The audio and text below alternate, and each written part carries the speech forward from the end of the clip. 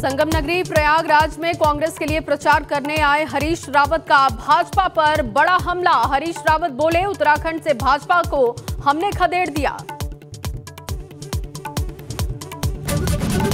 भीतरघात को लेकर चुनाव खत्म होने तक भाजपा संगठन ने साधी चुप्पी। 10 मार्च को नतीजे आने के बाद हो सकती है बड़ी कार्रवाई कई नेताओं ने सार्वजनिक तौर पर कही है भीतरघात की बात।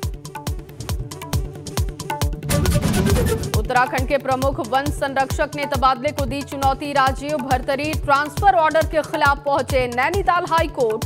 राजनीतिक दबाव में ट्रांसफ़र करने का आरोप लगाया। चमोली में एसडीआरएफ और पुलिस की टीम ने रेस्क्यू कर बचाई गाय की जान। तीन दिन से 150 मीटर गहरी घाटी में फंसी थी गाय।